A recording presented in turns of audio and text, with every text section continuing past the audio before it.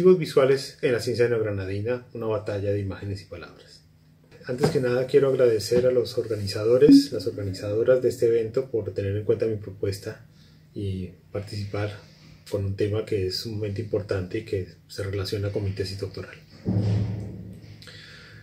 Dispositivos visuales en la ciencia neogranadina, una batalla de imágenes y palabras. En el paso del siglo XVIII al XIX surgieron en el nuevo Reino de Granada dos empresas científicas que crearon dispositivos visuales poderosos. Nos referimos a la Real Expedición Botánica del Nuevo Reino de Granada y al viaje de Alexander von Humboldt en compañía de M. Bonpland. En la presente ponencia nos proponemos contrastar el uso que se hizo de la imagen en sus respectivos trabajos, con especial atención en los conceptos de nivelación de las plantas, surgidos de la expedición muticiana, y el de la geografía de las plantas, concebido por Humboldt. Si bien la génesis de ambos conceptos es motivo de disputa desde principios del siglo XIX, pues el científico neogranadino Francisco José de Caldas y Humboldt trabajaron a partir del mismo principio, lo que nos proponemos no es entrar en la disputa de su autoría. En cambio, proponemos analizar la relación entre palabra e imagen en los dispositivos visuales publicados por el sabio prusiano en su ensayo sobre la geografía de las plantas en relación con los trabajos realizados por Mutis y su equipo. Primero, palabra imagen. Existe una gran contradicción en la obra del botánico gaditano José Celestino Mutis, fundador y director de la Real Expedición Botánica del Nuevo Reino de Granada. Aunque Mutis era un apóstol, como lo llamaba Linneo, como le decía en general a sus corresponsales botánicos, el sabio sueco desaconsejaba el uso de las imágenes para su método de botánica sistemática. Sin embargo, Muti le concedía gran importancia al uso de las representaciones visuales, hasta el punto que parece haberse esforzado más por desarrollar su iconografía botánica que por dejar los taxones de las especies que herborizó, es decir, las descripciones técnicas de los géneros botánicos en latín. La iconografía muticiana tiene más de 6.000 dibujos, mientras que existen múltiples disputas sobre la escritura de los taxones correspondientes a las especies analizadas. La famosa flora de Bogotá, que al parecer no fue completada por el gaditano, pues existen pocas descripciones para el gran número de iconos dibujados.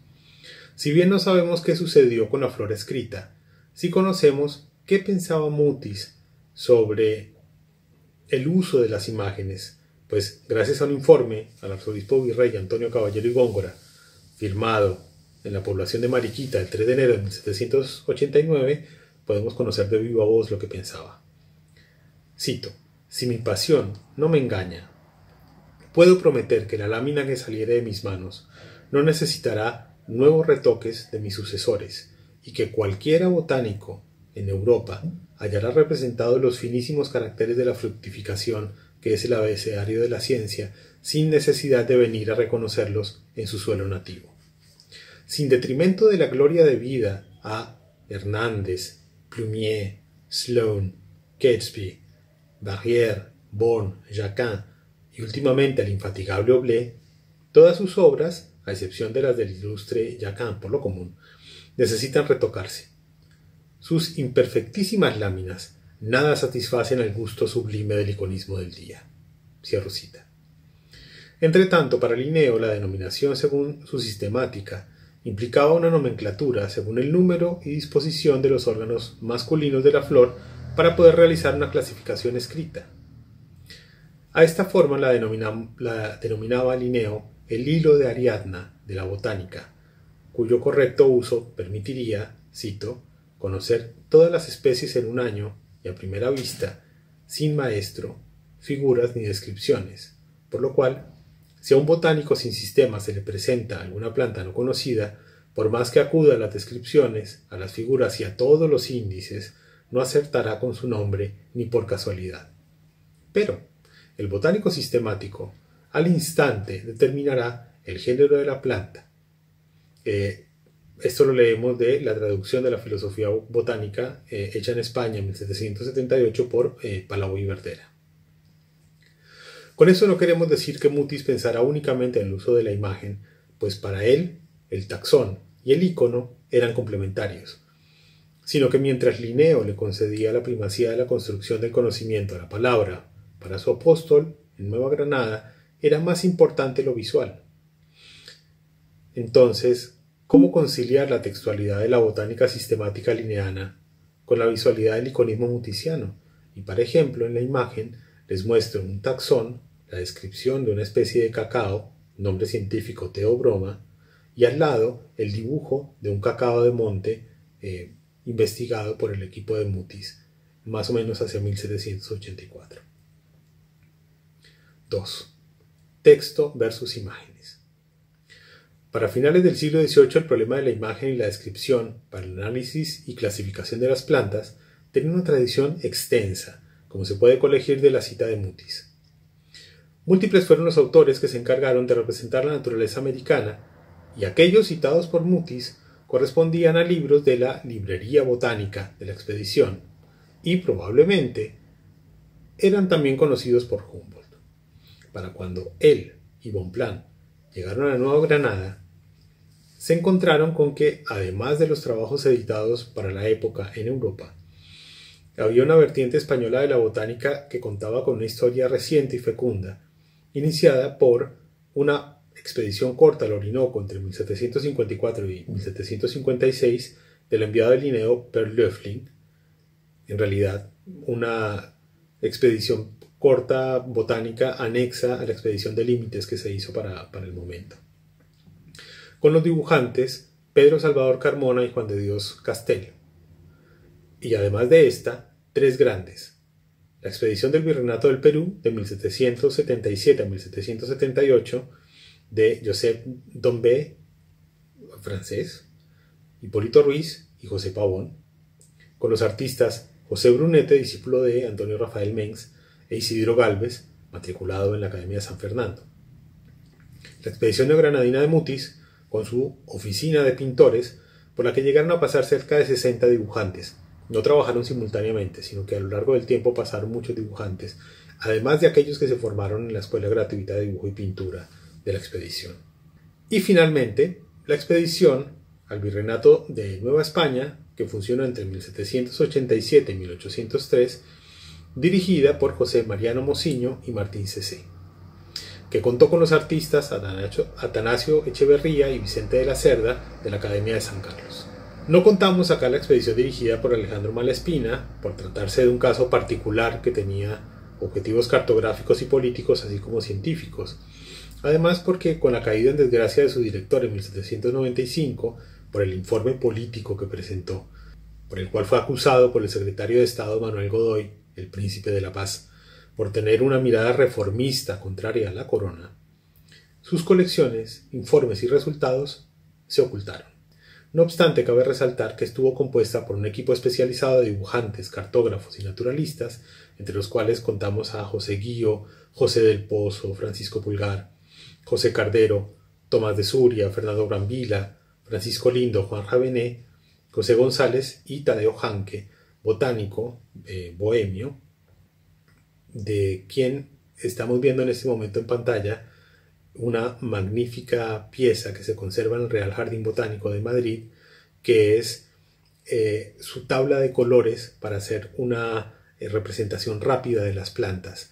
Eh, una tabla de colores, digamos como un pantón actual, a la cual se le asignó un número a cada uno de los, de los tonos que él tenía con los colores que tenía a disposición y que le permitían hacer apuntes rápidos en el campo y poner, por ejemplo, el azul de esta flor es el azul 53, para así al regresar con este método mnemotécnico poder dar el color que correspondía. Em, por este gran número de agentes de la ciencia hispanoamericana, escribió Humboldt, cito, ningún gobierno europeo ha sacrificado sumas tan considerables como las que ha gastado España para adelantar el conocimiento de la naturaleza. Cierro cita. Lo que no se considera normalmente es que los resultados de las tres grandes expediciones fueron el insumo de los trabajos botánicos de Humboldt y Bonpland, como reconocen en el prólogo de su libro Plantas equinoxiales editado en 1808. Cito.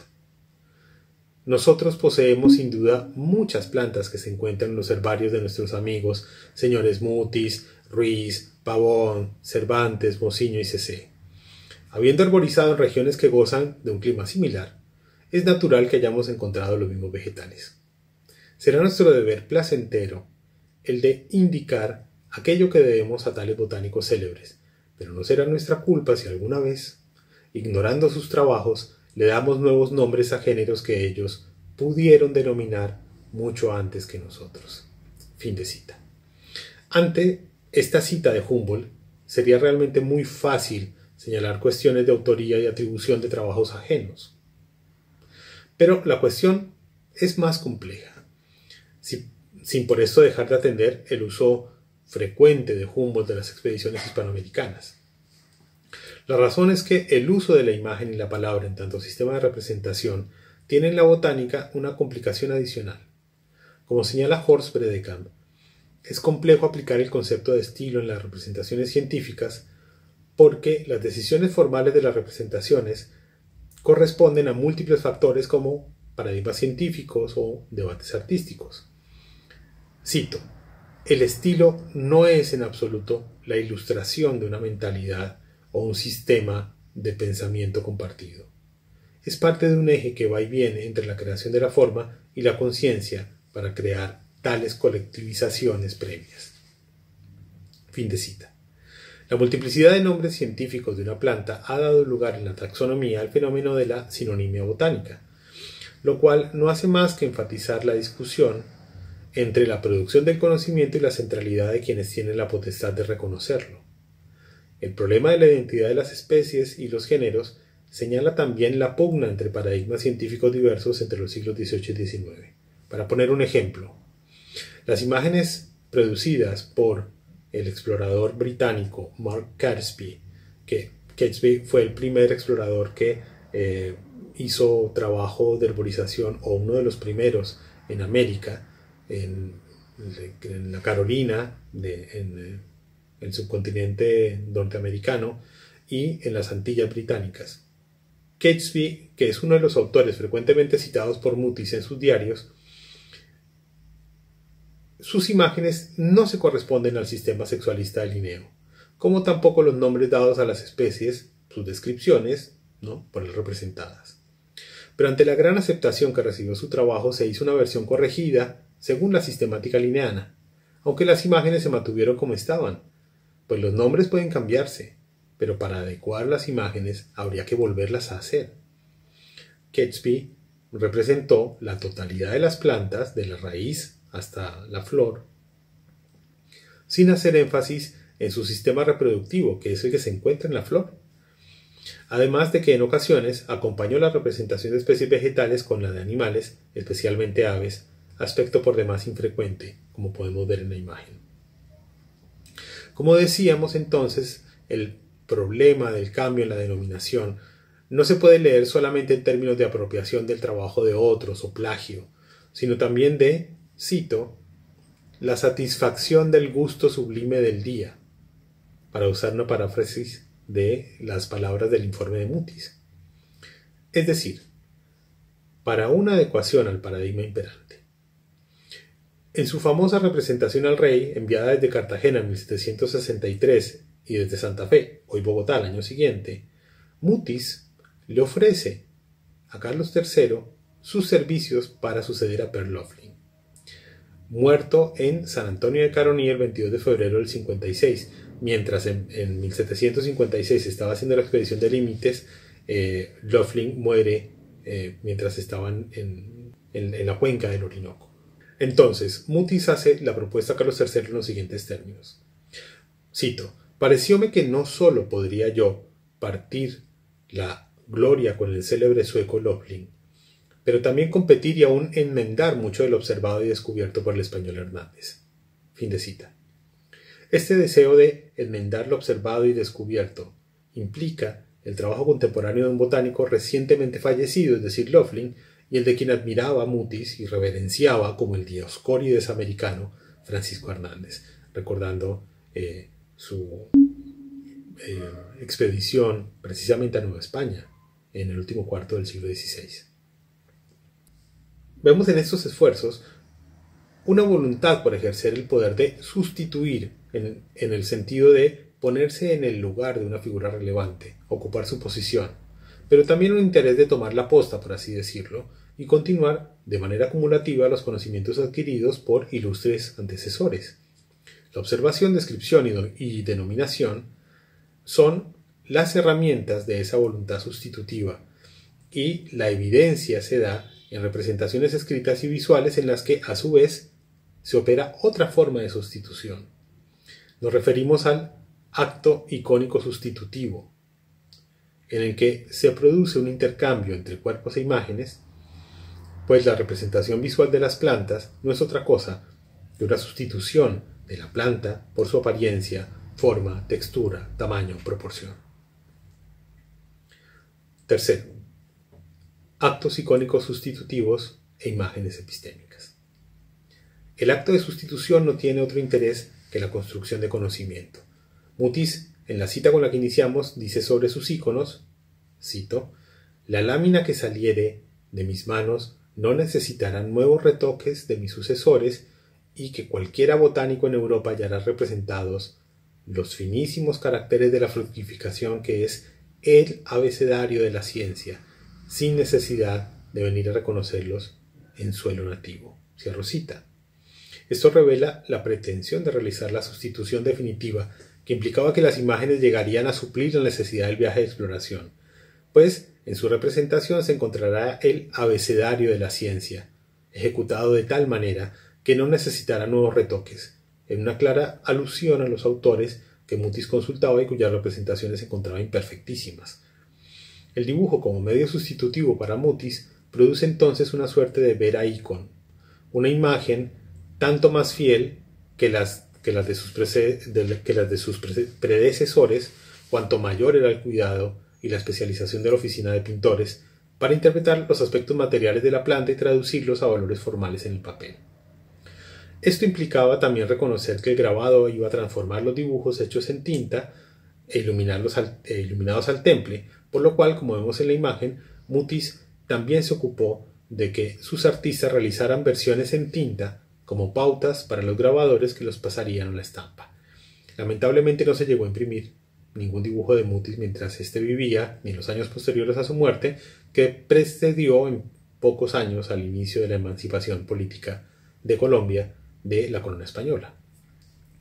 En todo caso, este esfuerzo material quedó plasmado en el Tratado Perdido, experimentos prácticos para la miniatura, nuevas composiciones de los colores para la imitación del reino vegetal inventados en la Real Expedición para su Flora, de 1804, escrito por el mayordomo de la expedición y director de la oficina de pintores, Salvador Rizo Blanco. En la imagen vemos uno de los dibujos hechos por este magnífico dibujante. La búsqueda de ser fiel a la realidad es lo que definen Lorraine Daston y Peter Gallison como Truth to Nature, una virtud epistémica en la cual se basó la ciencia del periodo, según esos autores. Las virtudes epistémicas en la ciencia se relacionan con los atributos morales de sus agentes expresadas en sus producciones. El principal de tales atributos es la objetividad, cuyo estatuto para la época de Mutis y Humboldt tiene el carácter de un testimonio fiel ofrecido por una autoridad irrefutable y por tanto tiene el interés de corregir, esto es, enmendar los errores pasados eh, y mientras que las nuevas eh, virtudes epistémicas reemplazan a las antiguas, reescriben sus resultados y pueden crear confusión y acusaciones cruzadas por el juicio de los otros con el rasero propio. Pero eso no implica que el conocimiento pasado quede totalmente superado por el nuevo, pues, en palabras de Daston y Gallison, cito, la ciencia es fértil en nuevas maneras de conocer y también productiva en cuanto a nuevas formas de conocimiento. Fin de cita. Es nuestro parecer que los dibujos botánicos tienen valor epistémico, es decir, son imágenes para conocer, no solo para hacer visible un fenómeno estudiado. Para ello, tomamos la definición de Harald Klinke según la cual, cito, las imágenes epistémicas son, las que, son aquellas que contienen más que lo meramente visible, pues al mismo tiempo procesan un entendimiento elevado del mundo, en otras palabras, conocimiento, y en las cuales, además, el proceso de producción de imágenes es visto a menudo como un proceso para el desarrollo de ideas. Fin de cita. como vemos en la imagen, eh, el caso de una planta con su día de observación, los detalles en un boceto preparatorio en el que se hacían primero las partes que se marchitaban y después pasarlo a limpio aprovechando que las hojas duran mucho más que las flores. De esta manera podemos comprender mejor los actos icónicos sustitutivos de la naturaleza en términos de un problema de epistemología visual, en la que además las imágenes científicas actúan como semióforos, propios de la cultura oral visual del siglo XVIII, lo cual quiere decir que son testimonios instrumentales positivos y plenos de sentido. El conocimiento convencional de las imágenes, la esencialización de los cuerpos o los fenómenos sustituidos implican una experiencia representada, por lo cual la comparación entre los trabajos señalados de Mutis y Humboldt implica también el contraste de sus propias experiencias. Cuarto, nivelación de las plantas versus geografía de las plantas. En 1801, el científico prusiano, barón Alexander von Humboldt, conoció a Mutis, quien le compartió información sobre su trabajo en Nueva Granada desde 1761. Para ese momento la expedición tenía casi dos décadas de experiencia en la naturaleza americana y Mutis exactamente 40 años de experiencia trabajando allí. La historia de la ciencia en España y América presenta el encuentro como un objeto primordial para Mutis, aunque se dio en realidad por casualidad, pues este no tenía interés particular en hacer un viaje a través de las montañas y ríos de Nueva Granada. Él quería unirse a la expedición francesa del Mar Pacífico comandada por el geógrafo y explorador Nicolas eh, Thomas Baudin, pero como se demoró mucho, eh, como se retrasó, la motivación del viaje de Humboldt a América fue el retraso, precisamente, de la salida de la expedición de Baudin a la que él estaba invitado, eh, lo cual por este retraso incluso podría significar una cancelación del viaje. Eso hizo pensar a Humboldt en cambiar su destino a Egipto, lo cual era imposible como consecuencia de las guerras napoleónicas. Así que invitó al joven botánico francés Aimé Bonpland, a quien había conocido recientemente en París, a unirse a él en un viaje a América. Usando la influencia de su hermano Wilhelm von Humboldt, Alexander obtuvo permiso para visitar las posesiones del rey de España y también para recolectar muestras de historia natural. Humboldt planeó este viaje con la idea de unirse a la expedición de Baudin cuando ésta pasara por el puerto de Guayaquil. Por ello se dirigió hacia Venezuela, donde realizó la exploración del Orinoco, y planeó ir a Cuba para asegurar los ejemplares y muestras allí recolectados y arreglar los detalles para ir a Guayaquil, pasando por Panamá. Pero una serie de problemas en el Mar Caribe lo dejaron varado junto con Von Bladen en Cartagena el 30 de marzo de 1801. Allí el explorador entendió que era más seguro viajar por tierra que pasar por el canal de, por el, perdón, por el istmo de Panamá para conseguir un barco. Debido a este cambio de planes, decidió ir a Bogotá, donde, encontrar, donde estaría en contacto con Mutis eh, a su arribo a Santa Fe el 6 de julio de 1801.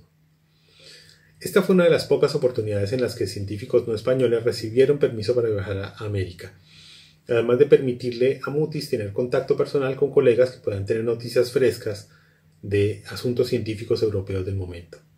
Pero también era fuente de gran inquietud por tratarse de extranjeros no acompañados por científicos locales, como previamente Ruiz y Pavón acompañaron a Don Bain en la, expedición del Perú, o antes que ellos, en la expedición geodésica franco-española, había estado eh, Jorge Juan junto a Antonio de Ulloa, al lado de la Condamí. En este punto se acordó que Francisco José de Caldas acompañara a Humboldt como representante de la ciencia neogranadina, pero también como espía. Caldas, con conocimientos de astronomía, cartografía y geografía, aprendió de Humboldt y Bonpland, en lo que fue una suerte de pupilaje, pues tuvo clases de primera mano, como ninguno de los conocimientos, eh, eh, como ninguno de los, de los científicos activos en el momento, pudo acceder a conocimientos, colecciones científicas, bibliotecas portátiles e instrumentos de los exploradores europeos. Junto a ellos, el estudio de la geografía y la cartografía fue muy importante, pues aunque Caldas era un autodidacta besado, para el momento estaba restringida la práctica de dicha disciplina al cuerpo de ingenieros militares, por lo cual era imperativo que el joven científico, como dice él en una de sus cartas, aprovechase se aprovechara de las luces de Humboldt. Entre el 31 de diciembre de 1801 y el 3 de abril del año siguiente, Caldas gozó del tutelaje del barón hasta que éste comprendió el espionaje del que estaba siendo objeto y le comunicó que, continuaría su viaje hacia el sur, hacia Lima, eh, sin su compañía. Para el momento se encontraba en Quito y aunque siguieron estando en contacto, finalmente Humboldt y Bonpland partieron el 8 de junio sin Caldas. Justo antes de salir de Sudamérica, en febrero de 1803, desde el puerto de Guayaquil, Humboldt envió a Bogotá un dibujo titulado Geografía de las plantas cerca del Ecuador, tabla física de los Andes y países vecinos, levantada sobre las observaciones y medidas tomadas en los lugares en 1799-1803, en imagen. Con los contornos de su famoso ensayo sobre el mismo tema, publicado en París en 1805. De la misma época datan los trabajos de Caldas, fechados estos el 6 de abril, con el título Nivelación de 30 especies de plantas puestas sobre la vista occidental de Imbabura y nivelación de algunas plantas que cultivamos en la cercanía del Ecuador conforme a las observaciones barométricas hechas desde 1796 hasta 1802. Al comparar ambos trabajos salta a la vista la aproximación más técnica de Caldas, centrada en el espacio geográfico granadino y sus plantas, en comparación con la síntesis realizada por Humboldt, cuyas anotaciones comparan a los Andes en un corte transversal con algunas de las principales alturas de Europa, el Pico del Teide, el Mont Blanc, el Vesubio, junto con la información botánica. Ambos trabajos fitogeográficos comparten un mismo principio, con la diferencia de que en ese momento Humboldt carecía de los trabajos de dos décadas de exploración de la naturaleza neogranadina que sí tenía Mutis. Allí entra plantas equinocciales, el trabajo en el que el prefacio anteriormente citamos, donde Humboldt reconoce la deuda con los expedicionarios hispanoamericanos y sus colecciones. De vuelta a los trabajos en comparación, es claro que Caldas realiza un trabajo que presenta su conocimiento de una parte del nuevo reino de Granada, de Granada, pero los dibujos muestran un recorrido desde Santa Fe hasta Quito. Pero como recién había entrado en contacto epistolar con Mutis, y no sería sino hasta el año siguiente, 1804, que ingresaría formalmente a la expedición botánica, no hay referencias a especies arborizadas por la expedición, mientras que Humboldt sí presenta múltiples referencias a plantas investigadas por Mutis, en particular de la quina, que era el principal interés del gaditano. Esto se debe a que Humboldt recibió el regalo de un centenar de dibujos realizados por la oficina de pintores, que actualmente están perdidos. De esta manera queda en la representación textual de estos trabajos solo el nombre de las plantas como una referencia para indicar la altitud en la que se encuentran. Al editarse la geografía de las plantas en 1807, como vemos en, pantalla, quedó sellada una sustitución en la que Humboldt quedó como editor de una parte de los trabajos científicos de Mutis, a quien nombra en una de las ediciones de su libro, pero que luego reemplaza en ediciones subsecuentes por dedicatorias a los botánicos del Jardin des Plantes de París, miembros del Institut de France, Antoine Laurent de Jussieu y René de Fontaine. ¿Podrían Humboldt y su colaborador, Aimé Bonpland, preparar y tomar todas las medidas necesarias para este proyecto sin la ayuda del equipo de Mutis? Además, ¿es posible captar tal visión política del espacio botánico sudamericano como resultado de un solo esfuerzo? Dada la enorme cantidad de información necesaria para crear la geografía de las plantas, es imposible pensar que Humboldt y Bonpland hubieran podido producir el dibujo por su cuenta, por lo que la relación entre Mutis y los exploradores extranjeros debió partir de un esfuerzo colaborativo para comprender la naturaleza americana utilizando imágenes. La geografía de las plantas inserta América en un espacio europeo imaginario debido a la comparación producida entre los dos continentes, un espacio imaginario que es europeo pero no español, pues incluso reconociendo la importancia de Mutis en su obra, Humboldt consigue apropiarse del conocimiento de la expedición para dar un paso adelante. Frente a tal trascendencia, los trabajos de Caldas y Mutis quedan como una curiosidad contenida en los diagramas de Humboldt, quien los sustituye como autoridad sobre la naturaleza americana. Quizá por ello, en el prefacio que hizo Caldas a su edición de la Geografía de las Plantas en el, semanario Nuevo Reino de Granada, entre 1808 y 1810, dice Esta obra nos toca muy de cerca. Son nuestras producciones. Somos nosotros mismos los objetos de que trata Merece pues un lugar distinguido en nuestro semanario y que nuestros compatriotas le tengan en su lengua propia. El autor la escribió en francés en la ciudad de Guayaquil y la consagró al ilustre patriarca de los botánicos don José Celestino Mutis. Este sabio, Mantuvo el original inédito hasta su muerte y ahora se publica una traducción fiel y conforme al manuscrito del autor. No es el prurito de escribir, no es la necia vanidad de exagerar los descuidos de los hombres grandes la que nos obliga a poner algunas notas. El amor a la verdad, el deseo de ilustrar algunos puntos de física y de historia natural de nuestros países son los motivos que nos mueven. Respetando las luces, los vastos conocimientos y los grandes talentos de este viajero extraordinario, más respetamos la verdad. Fin de cita. Como consecuencia, nos enfrentamos a un problema de epistemología visual en el que la producción de imágenes para construir conocimiento nos pone en un paradigma que vincula artes, ciencia y política. Muchas gracias.